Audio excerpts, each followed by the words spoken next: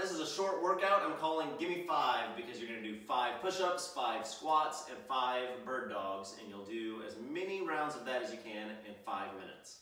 Then after that five minutes, you'll rest a couple minutes, and if you can, do the whole thing again for five more minutes. So I'm gonna show you how to do the exercises real quick. We'll start with the push-ups. So you're gonna do five push-ups at an angle that's easy for you. If you can do them on the ground, that's great, but if you need to put your hands on a bench or on a wall like Megan is doing to make them easy, that's totally fine. Just make sure you keep your elbows in and you keep a straight line from your shoulders and your head down to your feet. Don't stick your butt up in the air, don't arch your back. Then you're gonna go straight into the five squats, putting your feet at about shoulder width apart, maybe just outside that, nice and controlled. Don't let your knees cave in. You do five of those. Go as low as, as you can, but try to get your upper legs to about parallel to the ground.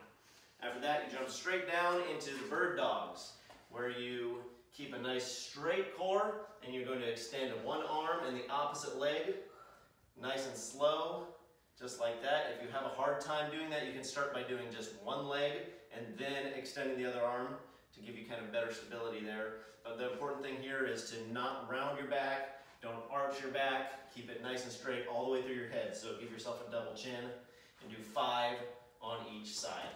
After that, you just jump back up and do the whole thing through that whole five minutes. And then, like I said, rest and do it again for another five minutes. That's it. That is called Gimme Five.